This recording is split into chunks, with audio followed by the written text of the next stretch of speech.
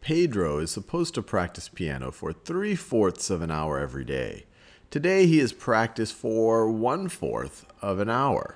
What fraction of an hour does he need to practice? So let's visualize three fourths.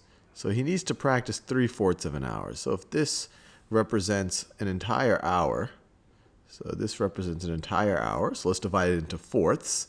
So now divide it into halves. Now let's make it into four equal section. Now it's into fourths.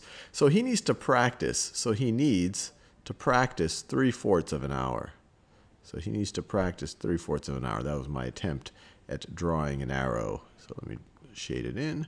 So he needs to practice. He needs to practice three fourths of an hour. This gets us to three fourths, three fourths right over here. So he needs to practice three out of the fourths of an hour. So this is three fourths. Now it says he has already practiced for a fourth of an hour. So he's already practiced for one fourth. One fourth.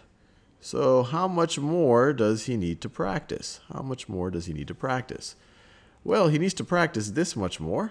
He needs to practice this much more, and you might already see the answer visually, but let's think about how to represent it as a, as a fraction expression. So let me write it like this. So this is how much he needs to go. How much, how much does he need to practice?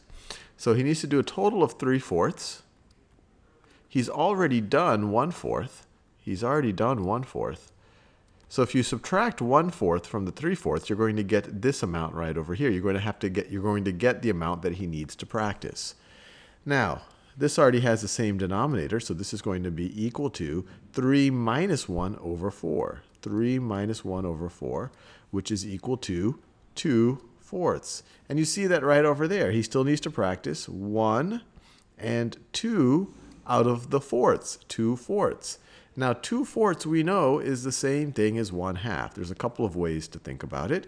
You could say, hey, look, this is half of the length of this entire thing. It has a little bit on this end and that end or if you made if you made four blocks like this, if you make four blocks, if you make four equal blocks, and if you were to shade in two of them, you see that you have shaded in one half of the blocks. This is the exact same amount as if I just divided into two sections and I shaded in only one of them.